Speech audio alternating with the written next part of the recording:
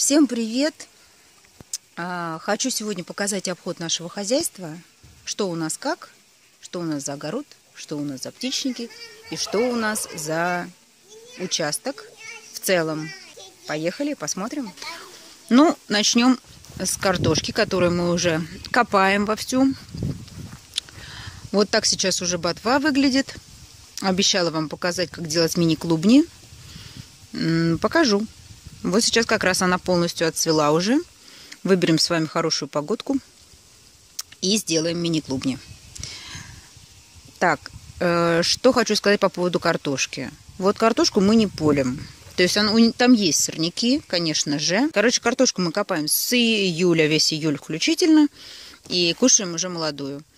Э, да, я буду ботву обрезать. А ботву я буду обрезать ну, наверное, через недельку я ее обрежу, и через три недельки мы уже, наверное, будем копать.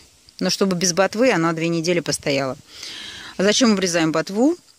Ну, во-первых, с ботвы идет фитофтора, которая потом проникает в клубни, и э, заразу это переносится от года в год.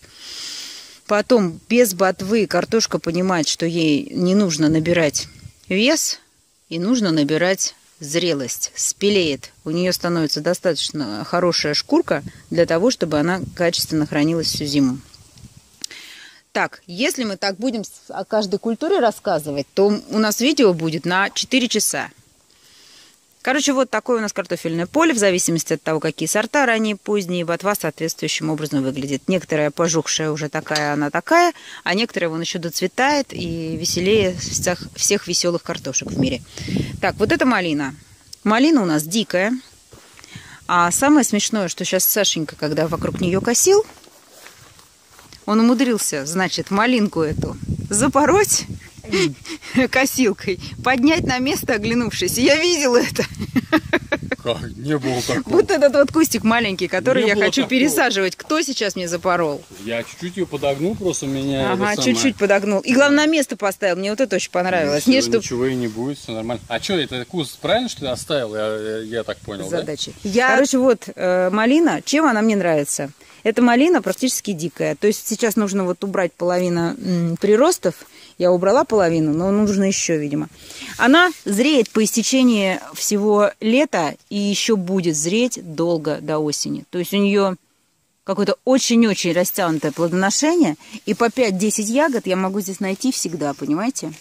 Вот. Но они не крупные, вот такие, не сверхспелые, не сверх такие, знаете, сочные, как бывает малина э, из питомников.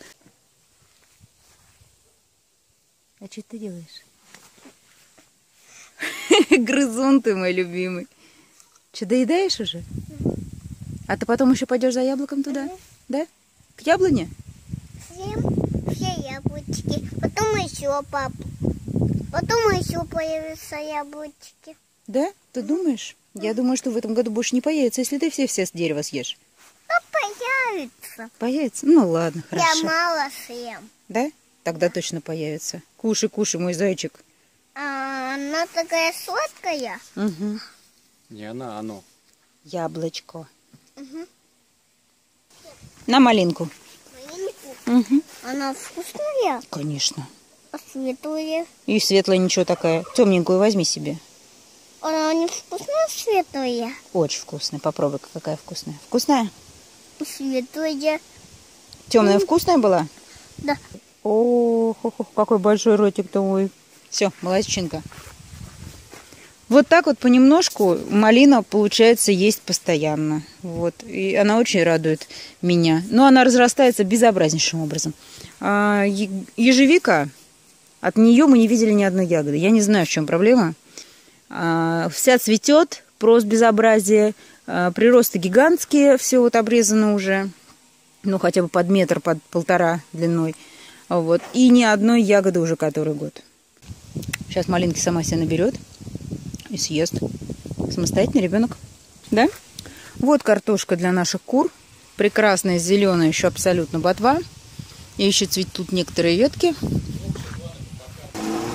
Вот Сашечка там еще косит. Это, сами знаете, наши забой, стойка для забоя. Я вам снимаю это с крыльца нашего аккуратненько. И вот тоже картофельное поле. Вот здесь у нас расположена картошка. И посередине небольшие вот эти вот заросли. Кукуруза, которая в этом году совершенно никакая, что очень удивительно. Без кукурузы мы ну, давно не оставались, так скажем. в этом году, наверное, будет один из редких раз, потому что я предполагаю, что этих, этот холод июньский, все июльский, июльский, все, конечно, угробил. Ну и пошли к нам в огород. Капуста совойская в перемешку с поздней спелой капустой и сельдерей рядышком. Поздний лук. Эта морковь уже будет в октябре э, выкапываться только, самое позднее, и будет на хранение сельдерей с цветной капустой, лук-порей. Мы с вами о нем говорили, я вам показывала, как я его сажала и выращивала рассадой. Ну, пока он еще не очень большой, но это поздняя спелая культура.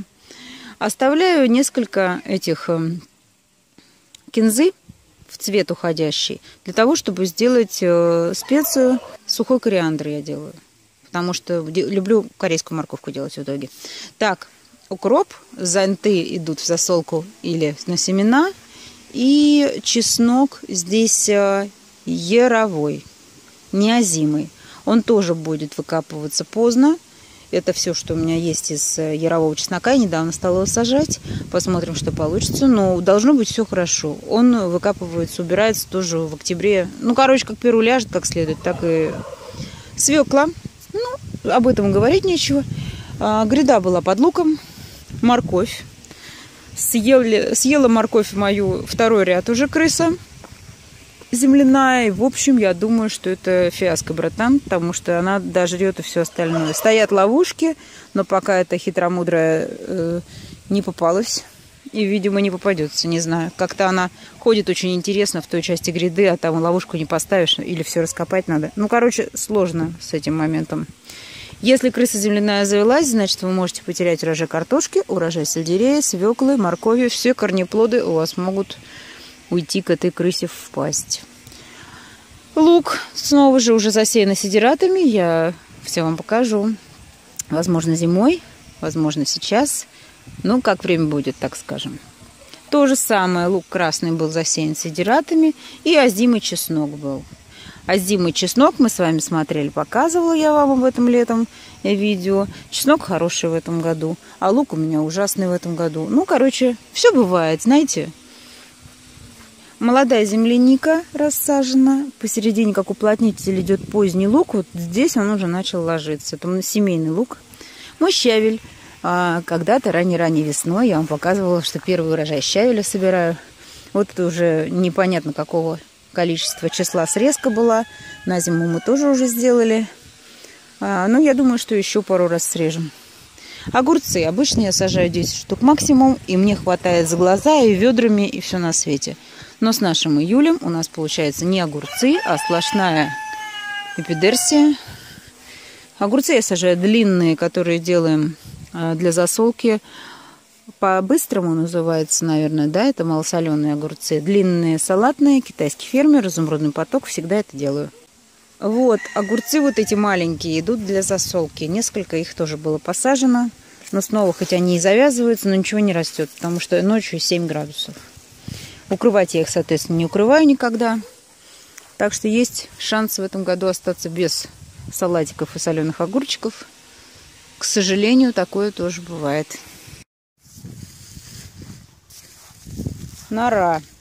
Нора, походу, от земляной крысы, потому что поверхностная и без всяких выносных ям. И она, походу, прицелилась в нашу картошку. Если она туда проникнет, будет очень печально. Она, знаете как, закусывает просто половину клубней и все. И уже потом эти клубни есть не рекомендуется, потому что они на своей слюне разносчики разных заболеваний. Ой, короче, вот вам природа, понимаете? Вырастешь, крыса съела. А, не вырастешь, дожди пошли, ничего не выросло. Короче, лотерея сплошная. Так, выдрав лук весь, я поняла, что, в общем, весь лук мой висел. Корни практически у всех были на уровне выживаемости. Так-то два корня в земле, остальные все в воздухе. Потому что здесь кротовых нор было просто полнехонько. И поставили ловушки. И вот вам аж две штуки. Два крота вот из этих вот, видимо, нор. Саша, а ты здесь их поймал? Да. Вот под ведром? А? Под ведром, где ставил, где нору разрыли? И с двух сторон попался оба крота? Попадал с одной стороны. Два раза просто. А, классно. Ну ты их как кот, знаешь, как кот приносит мышей домой к, к двери, так и ты кр- кротов-то оставляешь. Говорю, может быть, это самое оставить, тебе на шапку насобираем за, за осень. На шап... Да, да тут на шубу, мне кажется, их уже насобираешь, судя по тому, сколько их. А, слушай, надо их, может, их закопать там же? Будут устрашения другим кротам. Так, ну все. Вот такие вот у нас успехи нашего безуспешного мероприятия. Так, ладно, кабачки. Ну, это понятно все, тоже Савойская. Так как здесь была целина. Вот здесь этих трех гряд не было еще. В прошлом году был первый раз посажено. То я среднюю гряду и вот эту тоже делала под укрывным материалом. То есть я расстелила черный укрывной, положила условные какие-то ограничения э, грядок и отдельно-отдельно меж. И в отверстие прорезала и посадила то, что мне надо в прошлом году. В этом году, в общем, с вот этого куска я убрала укрывной, потому что он пришел совершенно негодность. Здесь оставила. И вот здесь посадила кабачки. Удобно на укрывном сажать кабачки, потому что они быстренько все закрывают. И, в общем, ничего не растет, то, что не надо. И земля сохнет меньше. Ну, сами понимаете, это та же самая мульча, только э, без постоянного ее пополнения, без необходимости этого делать. Вот, поэтому, в общем, вот совойская вот кабачки. Кабачки кустовые сажаю, потому что мне не нравится, когда они очень сильно разрастаются. Вот, видите, лежат, кстати, надо их собрать, потому что как только они превращаются в слишком большой, большой кабачок, то он идет исключительно куром. А вот здесь, кстати, хвост, видите, от тыквы. Там тыква посажена. Что-то в этом году тыквы, ну как все под вот это, видите, береза где? Вот она прям здесь. Поэтому здесь ну ничего не растет, а все, что растет, отклоняется в сторону от березы. Просто удивительно. Вот, вот как наша яблоня, видите? И все так. Кусты, огурцы даже, вот где у березы ближе, они не растут вообще и дальше на выше, выше, выше становятся. Понимаете? Ну все так. Поэтому огород мы разбили в неправильном месте. Это три э, редбор капусты, позднеспелые, кочаны, э, треугольные, пирамидовидные или как это называется. Вот. Ну, короче, такие красивые, очень безумные. Они как розы внутри. Я вам большую потом покажу, когда мы к томатам подойдем. Картошка из рассады моя. Цветная капуста, молодая, постарше. Э, брокколи, кальраби. Я, короче, все на свете сажаю. Поэтому, вот видите, вот она вот такая происходит получается. Ее чуть больше кулака, и я уже вырываю, потому что иначе становится жесткая кочерышка это. В междуряде цветочки, там всякие лепесточки. У меня ребенок очень любит. Тогда она мне предъявила, что мамочка, у бабушки очень красиво, а у тебя нет. Я решила, что цветы это тоже мое, оказывается, понимаете. Ну, какие цветы? Сами видите. Ноготки да бархатцы это не цветы. Вот. Но, короче, на что время хватает. Вот поэтому получается такой достаточно приятный кусочек. Мои хосты новые испеченные в спиле. А, здесь, конечно, требуется еще рука, и цветы я посадила, те, которые нам дала бабушка Аленина, не особо разбираясь. И видите, получились, что они очень высокие. Но я думаю, что этот куст отсюда переедет впоследствии, я предполагаю. Здесь останется все хостами, зараще хостами будет. Наша яблоня сломалась макушка. Это маленькая мельба на карликовом подвое, и вот она такая должна быть вообще, и никакой больше. То есть это, ну, ее максимальный размер должен быть, по идее, такой. Но прироста у нее все равно фигачит вверх. Не видно ее, да, ничего? Вот так снимем. Вот, хорошенькое деревце, в общем-то. Э, яблочки красивые достаточно. Под ним я посадила хосты и сделала вот такую каменную обкладку. И это астры. Тоже дала бабушка, сказала, посади хотя бы астры. Сказала, хорошо. И мой можжевельник, которому 18 тысяч лет, вот, и он вот такого размера, и он не растет, и не умирает, и ничего с ним не происходит, и красивого он голубого цвета, он меня очень устраивает. Короче, он растет 5 сантиметров в год, вот так примерно. Так, пошли дальше. Что мы видим с вами? Мы с вами видим теплицу. Так, это я траву сушу э, немножко куром-куром. Здесь нет солнца. И вот на ящиках лежит и так, и сяк. Сегодня после... Грех было хорошую траву после вот крапивную вот эту вот крапивный размол не посушить. Надо, надо. Мои грядки с клубникой даже не хочу показывать, потому что они не ухожены. Я не успеваю, но вот буду в ближайшие дни это исправлять. Это ремонтантная гряда, та обычная грядка. Моя говнопостройка для петухов. Это Сашина мечта ее снести, моя мечта ее оставить. На зло врагам. Да нет, конечно, конечно, она будет убираться, но просто птицу пока, двух этих петушков, мне кажется, что им здесь свободнее, чем если я их закрою в клетке. Любопыточки, вот они, как всегда, мои любимые, вот. Смотрите, какая красота, да? Дедушкина петушиное перышко. Винограды молодые кусты, ну про винограды можно только с Сашей разговаривать. Вот мои любимки. Все эти огороды, конечно же, ради них. Вот, я все-таки не человек, видимо, искусства, то есть цветы меня не так радуют, как меня радуют плоды, так скажем. Вот. А, ну да, теплицу не показала. Ну, не знаю даже, вам интересно вообще теплица? Кто тут кабачок кушает? Кто тут такой расфуфыренный? Ой, все ой, ходят кругами, ты мамочки ты родные. Ну все. Привет, синички. А вам тоже кабачок дали? Что-то вы не особо едите. Я им сегодня травы давала много. Он у них до сих пор еще в тазу. Кушайте, мои девчонки. Привет, пацанва. По поводу сада. Сад начнем с абрикоса. Вот это вот абрикос мною привитый. А, был посажен абрикос привитый в питомнике, и прививка отвалилась. На третий год отмерзла она. Вот. И мною привит был на подвой питомника абрикос э, от другого нашего куста. Э, формировка кустом – это долгая история. Только такая формировка возможна у нас в регионе, потому что это все-таки север, а не юг. И поэтому из абрикосов мы делаем такие кусты. Снега много высоко, и как минимум большая часть куста выживает. Даже если отмерзает что-то еще. Так, это тоже абрикос. Это питомниковский абрикос, который удачно приросся, и все нормально у него.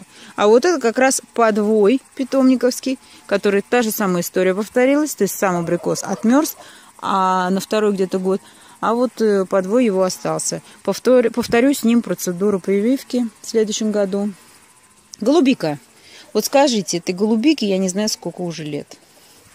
Это совсем умирающий куст. И что я такое не делала. И мы и сывороткой поливала, и кислоту добавляла, и специальный грунт здесь в определенной емкости. И корень расщепляла уже, чтобы он не имел форму горшка. И что только я не делала, голубика это вот в таком состоянии. Вроде как дожди, и все, и у нее... Короче, это просто. Вот этот кустик прошлогодний, и он гораздо лучше себя ведет. Моя девочка уже съела, схомячила отсюда все ягодки. В этом году у нее была плодоносящая ветка. Вот. Прирост все равно небольшой, но на мой взгляд. Э, я хотела бы, конечно, чтобы голубика у нас была, потому что и красные листья собираю для чая голубики, осенние обязательно, и ягоды сами по себе потрясающие, ничем ни на что не похожи. У нас нет лесов с черникой, это не Тверская область, поэтому, в общем, голубика это прямо вот да-да, но нет пока. Так, абрик... э, виноград. Снова же Сашин виноград. И еще два кусочка картошки. Вот здесь, здесь по три межи. Смотрите, она совсем сошлась. А вот, тоже ее не полю, в нее не залезаю вообще, ничего не делаю. После окучивания она растет сама собой. Вот цветочки, как только все исчезнут, посмотрю, что лист будет чуть подвидать, и уже буду отрезать его. Ну вот это, наверное, позже, не через неделю, неделю через две-три. Но я буду смотреть по листу. Дубак и дождь, он, конечно же, ускорит процесс ухудшения качества вот этой листвы, но пока это будет так. И здесь, в этом вот проеме, почему у нас такой забор странный, да? Двойной как бы. А мы эти три метра докупили, в общем, в сторону пруда. Соседей у нас нет. Пруд, березовая роща. С той стороны у нас церковь и памятник.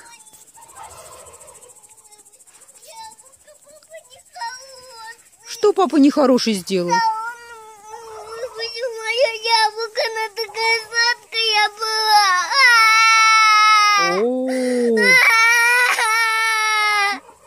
Рекламная пауза. Возвращаемся в сторону теплицы. Теплицу про эту тоже есть видео. Саша говорил, как он его, ее поднимал на подиум. Она сделана из стандартной теплицы, которая поднята на, на метр над землей, что очень удобно. Томаты я сажаю высокорослые. И сейчас вот начало августа вот так, такой высоты они уже. То есть, грубо говоря, они бы уже давно уперлись в крышу. А, Не буду сейчас о томатах, просто мельком. Просто вот, кстати, начала мульчировать землю сейчас. Так скажем, две гряды по 50 сантиметров примерно. И там с торца тоже гряда, то есть она буквой Т, замкнутая. Кирпич здесь на дорожках. Вкратце он является аккумуляторами тепла. Вот. Ну, короче, все очень здорово в этой теплице. Я ее очень люблю, берегу, храню, ну и так далее. Вот так. Поэтому про томаты смотрите видео зимой. Не пропускайте. Так, винограды, винограды, винограды. Винограды просто есть очень красивые. Вот я с северной стороны к ним зашла. Ну что, полезем через забор? Сашка увидит, прибьет. Скажет, опять ты мой, мою леску тут задеваешь. Но я не могу вам не показать сейчас. То есть, если мы говорим о нашем огороде, саде участке, то это один из ярких моментов таких. Это виноград. Я, значит, занималась виноградом три года. Я покупала саженцы, старалась разную формировку делать, старалась... Вот этот листик можно убрать? Нет, наверное, нельзя, да? Сделаем вот так. Разную формировку делать, старалась э, изучать сорта, которые в нашем регионе возможно невозможны, и делала это, складывая, как всегда, все в большую тетрадь гигантскую. Ну, может быть, покажу вам. Вот. И, в общем, за три года я не получила должного результата. Снова же много всяких факторов, но и условий было не выполнено верно. А, И по этой причине Саша Психанов сказал, я буду заниматься виноградом, в общем. Я сказала, ну давай, давай, хихикнула. И вот он уже пять лет тут. У нас с ним такие, знаете, молчаливые соревнования. То есть я покупаю на какую-то определенную там сумму новые сорта томатов, он покупает на подобную сумму новые сорта э, черенков винограда. Первый год он просто изучал его, потом уже начинал э, покупать какие-то черенки, уже зная о том, какие стоят э, внимания, а какие не стоят внимания сорта в нашем регионе. И снова же виноград это э, культура места конкретного, то есть у меня растет, у соседа может не расти тот же самый сорт, поэтому все очень индивидуальные условия. Вот он выбирает до сих пор, какие сорта ему нужны.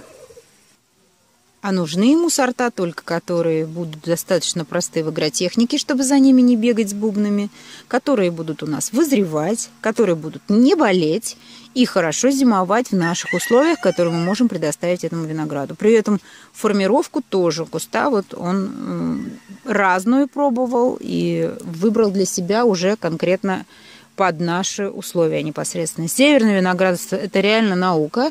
Я бы даже сказала, что это искусство, а не наука. Вот такой виноградник. Шпалер много. Здесь еще ряд. В ту сторону уходящий тоже. Весь бывший забор засажен виноградами. И, соответственно, еще в нескольких десятках мест.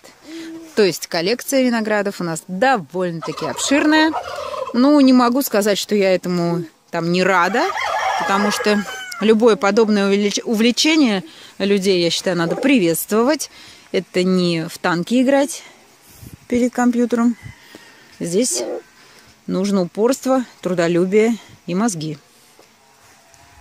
Ну, следующие деревья это у нас черешня. Опять не в себя тут прироста дала. Я сегодня обрезала. Буду из листьев черешни делать чай. Очень вкусно получается. Не знаю, может быть, сниму для вас, потому что это нечастое мероприятие. В общем, подобным образом, как и из ван-чая, то есть там небольшие есть отличия. Моя актинидия красавица. Девочка и мальчик. Ягодки начинают потихонечку вызревать. Сегодня уже, сегодня уже несколько ягодок сняли. Моя бусечка уже их схомячила. Вот. Видите, какой он красивый? Это куст с красной листвой.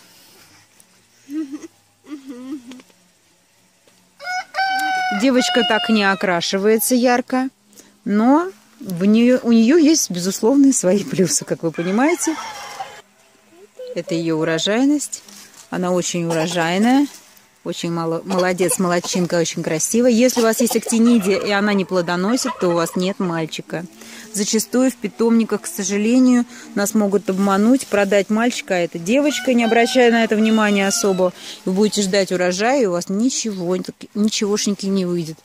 Потому что нужна обязательно, обязательно э, разнополая группа. Сейчас, говорят, вывели актинидию, которая имеет один пол, но я о ней ничего не знаю, поэтому, может быть, вам повезет, и вот именно такая актинидия вам попадется, все будет хорошо. Ягодки я вам покажу, вот видите, в сравнении с моей рукой, небольшие, но они реально между ананасом и клубникой, когда они спелые. Очень вкусные. Они, когда спелые, становятся мягкими, и они осыпаются. Я внизу ставлю ящики, и все. И потом только собираю, с ящиков ссыпаю ягоды, и все. Я не морочусь, я с нее вот так вот руками ничего не ощипываю, потому что ягода, которая еще не упала, она недостаточно вкусна. Черешня. Черешню в этом году атаковали конкретно муравьи, эти муравьи и, соответственно, тля. Но при этом ей не помешало это дать вот такущий прирост. Снова же макушку надо обрезать, потому что это потом невозможно будет ни укрыть, ничего с этим сделать. Черешню я тоже пытаюсь вширь э, больше э, дать ей рост вширь, чем высоту. Но здесь ветки буду обрезать нижние, потому что они мешают косить, мешают проветриванию. И муравьи как раз нельзя сделать ловушку на стволе, потому что муравьи просто забираются по этим веткам. И тут уже ничего не сделаешь, кроме как опрыскивания. Снова же очень высоко не достаешь. Ну, короче, это не дело. Вот это черешня. Тоже вопросительный знак по поводу нее. Она в этом году даже несколько ягод дала, и каждый раз у нее середина июля вот такая листва. Она виснет вниз, она очень долго так стоит, не осыпается до поздней осени, но вся ее листва вот так вот вниз пожухшая повисла. Такое ощущение, да, что у этого куста недостаточно влаги или витамин каких-то. Но у него очень очень питательный грунт. Мы по юности лет сажали черешню, к сожалению, этого не надо было, наверное, делать, в очень хороший, э, специально сделанный для нее грунт. То есть там и перегной, и, и все что угодно, короче. То есть нехватки питательных веществ я даже думать не могу. Может быть, переизбыток их. И воды в этом году, ну, весь ее льет, соответственно, она под открытым небом. Все деревья, как деревья, лист темный, густой – а это вот такой вот, уже который год тут так себя ведет странно. Ну, это вам схема знакома. Сашечкин новый загон. Загон для индюков, Сашечкина новая постройка. Очередная. Ну, одна из черти скольких. Груши. Вот груши это отдельная песня. У нас вообще, а, ну давайте будем считать три груши. Было четыре. Они посажены квадратом. Один, два, три, четыре. Как бы вам так показать-то бы? Оп. Вот это первая груша, предположим. Ее я формировала в форме чаши и убирала центральный проводник. После чего а, Александр Сергеевич у меня возмутился, что у него нет центрального проводника и заставил меня так или иначе его вывести. Я его вывела, и поэтому эта груша вот такая небольшая, немножко раскоряка. Но хочу заметить, что эта груша начала плодо, э, плодоносить первая из всех груш, посаженных одновременно. И она самая, что ни на есть, вот, мне кажется, по урожаю превосходящая другие. Эту грушу мне не дали, так скажем, искалечить, поэтому она как кипарыс, высоченная и бестолковая, и ни одного цветка на ней не было. И вообще, груша ли это уже вопрос, или это тополь, я не знаю, короче.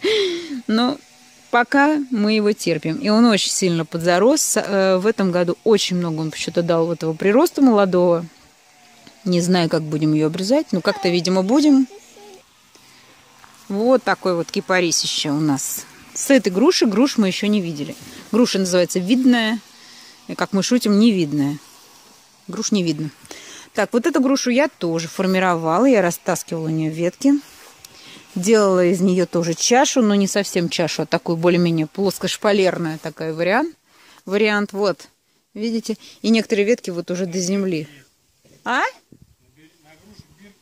Я знаю, что на грушах есть бирки. Таскайте, не отвлекайтесь. Так, что тут за бирка-то у нас? Чижевская, да. Я маме такую же привозила. Короче, это груша Чижевская. Чижевская, но э, по фамилии, по-моему, ее автора как раз сделано. Чижевская. Хорошо, пусть будет Чижевская. Грушки такие кругленькие, она позднеспелая. По ней видно. Э, достаточно крупные. Еще совсем зеленые. Но я надеюсь, мне же никто не мешает надеяться, что в этом году мы ее попробуем. Это будет первый ее урожай. Она не слишком усыпана. То есть вот та груша, если вы видите, значительно больше урожай на ней. Но я счастлива и от этого. И, в общем, очень она высокая. И, в общем, видимо, ей тут понравилось. Груша, которая приведена на рябину, была такая отличная, но мы были вынуждены ее пересадить, и все, и она здесь болеет, чахнет, сохнет, и, короче, что-то с ней не так. Наверное, мы ее должны будем убрать. Томаты мои в бочках. Хм. Зеленая черри и черная черри здесь. Пасынки надо отрезать. Ну, так скажем, за ними надо сейчас поухаживать будет немножко, потому что уж очень они сильно дали в рост. Вот. Так, ну, здесь на самом деле... Ой, не могу не сходить. Пойду. Смотрите, какая прелесть. Ну вот как-то такое возможно пропустить, а? Просто чудо, да? Это же удивительно.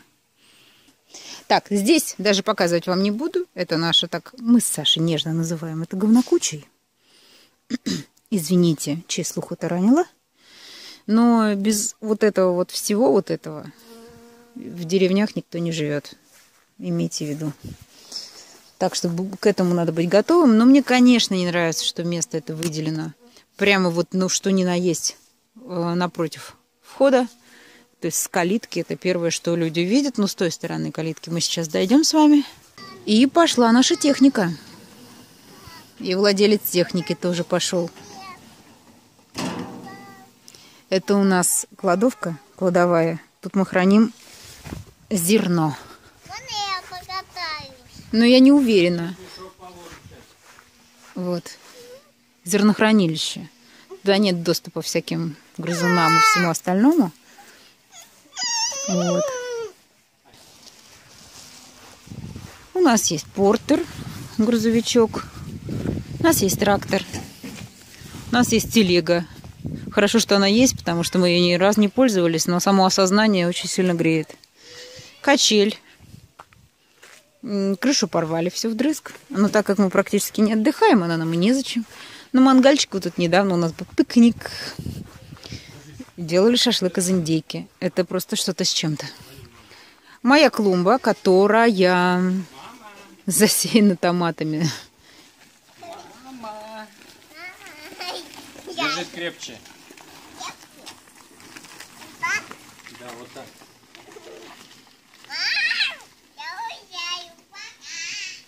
Вот что детям надо, понимаете? Что ценно в такой жизни. Ребенок 24 часа находится с родителями. Как это называется? Человек, который сидит на навьюченном животном. Погонщик? Алена, ты погонщик у нас? крупного рогатого скота. Паразит. Паразит это немножко другое. Ты мой сладкий. Ты про Алену? Да. Какой же тебе паразит? Что ты говоришь? Что ты несешь-то? А? Ничего святого нет. Да. Малышка моя сладкая.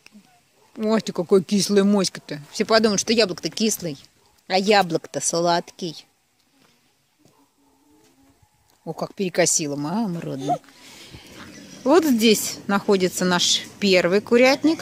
Изначально куда ехали? Сено косить.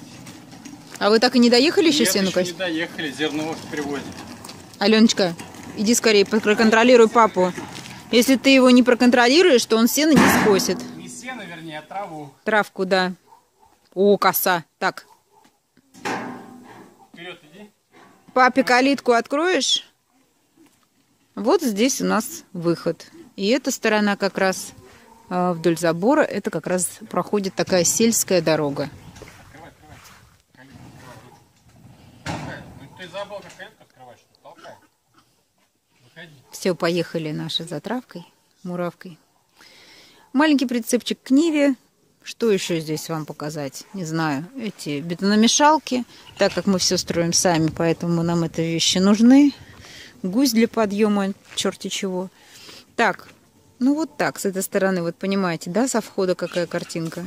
Нехорошая. Единственная здесь красотень начинается, если посмотреть вот наш курятник. Мне он очень нравится, он среди двух берез. Мы постарались сделать все для того, чтобы их не рубить. Тут такие чудеса эквилибристики были при монтаже крыши, просто бомбические. Сашка все делает один. Вы знаете, чем это важно тоже? Вот женщине нужно постоянно чем-то восхищаться в мужчине. То есть, если это не так, то э, как-то вот глаз замыливается, и отношения становятся другими, и все, все становится не так, как надо. О, задира. Ну как вам, малыши-карандаши? Ходит, бродит. Да, мы говорили с вами о том, чтобы женщина жила с мужчиной долго и счастливо, чтобы брак был достаточно крепкий. Ей всегда нужно восхищаться чем-то в нем, понимаете? Нужно обязательно, чтобы тебя чем-то человек поражал, удивлял, вызывал восхищение. Ну, я, конечно же, в силу того, что у Саши есть очень интересные хобби, так скажем, такие как виноград, или такие как, не знаю, назовешь это хобби или нет, как стройка. Это всегда очень восхищает. То есть, проходя каждый раз мимо его куста винограда с урожаем, я вот каждый раз думаю о том, что ну нифига же себе он дает. Каждый раз, проходя мимо того же курятника, смотрите, какая красота. Ну, красивое здание само по себе, все красиво. Эстетика. У него даже с тыльной стороны здания а, под цвет покрашены эти наличники на углах. Понимаете? То есть вот она в чем, в чем истина, в мелочах она, да, дьявол в мелочах. То есть цвета подобраны так. И материалы из того, что он может сделать, он сделает лучший вариант. То есть у меня нет в этом сомнений никаких. И это всегда очень не может не радовать. Вот смотрите, вроде бы, да, прикручена сетка прозрачная. Вы видите, что прикрутка это, шурупы, болты, что это? Она на одинаковом расстоянии друг от друга. И это во всем так. Ну и вот, в общем-то, место, где мы сейчас разделываем курицу. Шпарчан стоит на земле. Сейчас у нас нет забоя, пиросъемка. Для этого нам нужен, конечно же, навес. Это следующая постройка будет в обязательном порядке, чтобы поставить все там так, как полагается, потому что я думаю, что грязный ощупь будет в любом случае, наверное, под навесом. Вот, а чистый уже ощупь, конечное, потрошение, будет уже специальное место отведено в помещение для этого. Вот здесь у нас кусты, черная смородина, э, сосна горная, которой, ну не наврать вам, лет 8. Вот она в таком виде всегда. Вот. Крыжовник, который я думаю, что я уберу. Крыжовник, который я думаю, что я не уберу. Он разросся огромным, но очень вкусный черный крыжовник.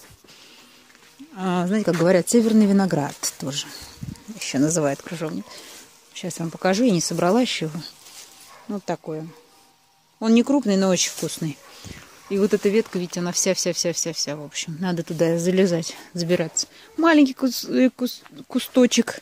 Я в прошлом году веточку воткнула, дала корешки. В этом году уже этот ку- э, куст плодоносил. И вот этот. Тоже собрала уже урожай. Нужно будет его подстричь и удобрить как следует. Закидать его подстилкой птичьей. И не забываем, что Чтобы получить хороший урожай черной смородины, вы должны ее баловать картофельными очистками. В идеале под мульчу под кустом. Вот. Если вы видите, у меня пятна такие есть темные, видите, под кустами? Это как раз именно из-за того, что там всегда практически лежит скошенная трава в большом количестве. То есть я мульчирую круги приствольные. Это всегда очень хорошо для деревьев. Вот отсюда видите маленькая слива, видите, посажена первый год. Тоже вокруг, вокруг замульчирован. И под черешней тоже. Вот эта мульча, в общем, выручает. Ну и, в общем, вот под тентами спрятана наша поленница. Котенька, все нормально? Наша поленница, она просто наглухо такой имеет форму прямоугольника забитый э, между вот этими вот березами тремя полностью, ну и сюда. Такая она. Ну, мягко говоря, прямоугольная площадь занимает это все. Вот. И вторая поленница вот здесь. В общем, дров на пару лет нам точно хватит, так как в округе все дрова вырубают, видимо. Такой вот запас мы решили, что нам нужен. Вот. Да и мало ли что, да. Нива, на которой мы ездим по, по деревне и за какими-то такими вот вещами. За грибами я надеялась, что мы будем ездить, но у нас некогда в этом году, хотя грибов, говорят, полным-полно. Да, Сашенька? Да. Может, нам все-таки будет, когда съездить за грибами? Ой, так, ну и, в общем, вот ворота.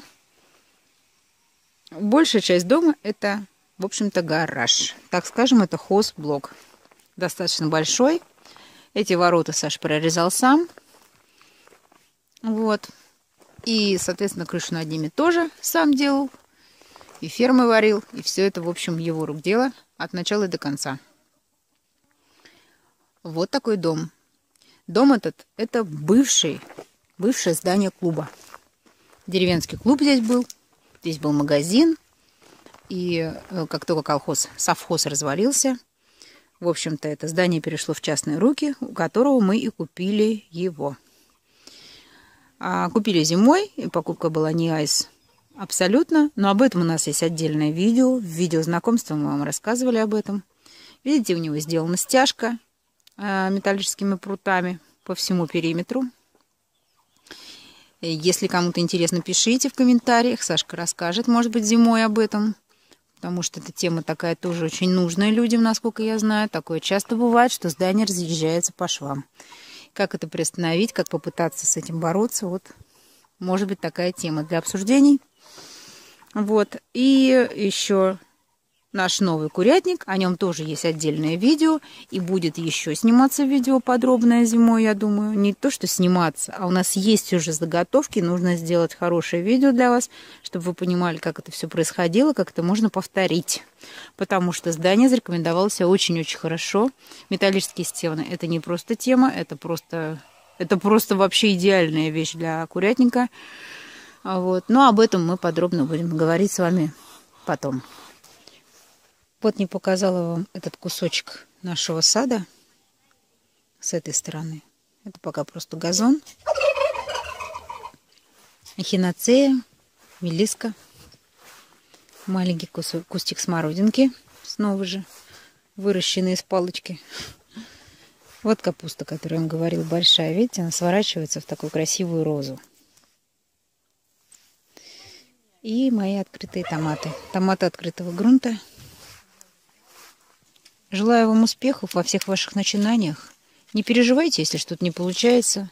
Не бойтесь начинать что-то новое. За этим всегда следует а, ваше приобретение, будь то опыт или будь то а, благополучие и успех в делах. Всегда вы что-то поимеете. Что бы вы новое не начинали. Всего доброго.